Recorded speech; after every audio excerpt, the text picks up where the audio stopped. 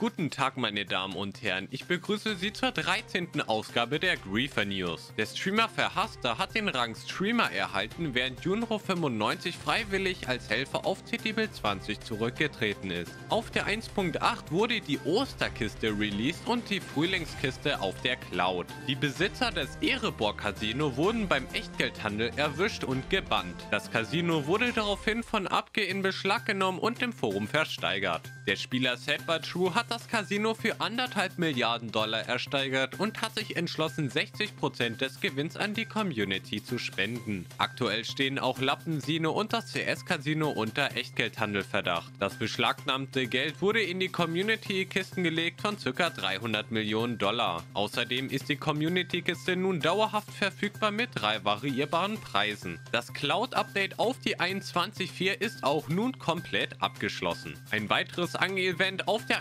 1.8 und der Cloud ist zu Ende gegangen. Zu Angeln gab es 25 Sammelköpfe in Normalform sowie verzaubert zum Thema Meereswesen und drei Aquawerkzeuge als Sammelgegenstände. Auf Citybuild 10 beim PH Rathaus kann man seit Januar seine Wünsche beim Wunschbrunnen einwerfen. Der Wunschbrunnen befindet sich vor dem Rathaus vom Helfer SI Marv AP. Zu Ostern gibt es für die Community wieder eine Menge abzuräumen. Events finden durch das Lappensino mit 300 Millionen M-Box Casino mit 250 Millionen, dem Spieler Chevalier Deo mit 34 Millionen, Labby Preise mit 20 Millionen und Solarfox 007 mit 34 Euro Guthaben und 12 Millionen sowie weiteren statt. Das Plot-Bewertungsformat von Abgegrieft wird durch den Spieler Benny Official mit Unterstützung weniger Streamer neu aufgerollt. Plots der 1.8 sowie der Cloud sind unter dem Forumsbeitrag einzusenden. Zu gewinnen gibt es auf der 1.8 ein beste Bewertungs-Item und auf der Cloud eventuell ein neues Item durch das Team, was aber noch nicht feststeht.